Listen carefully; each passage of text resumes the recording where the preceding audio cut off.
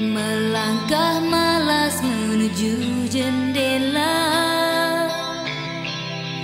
Kabus menyelubungi